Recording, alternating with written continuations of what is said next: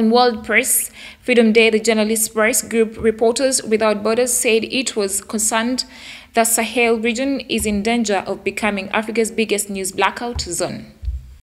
In a gloomy report published a month ago, Reporters Without Borders denounced a constant deterioration in the working conditions of the local and international press in the Sahel. 30 media outlets, journalists associations and freedom of expression organizations on Wednesday called on the ruling juntas in Mali and Burkina Faso to protect journalists in the face of growing threats. The 2023 edition of the World Press Freedom Report points in particular to the effects of disinformation.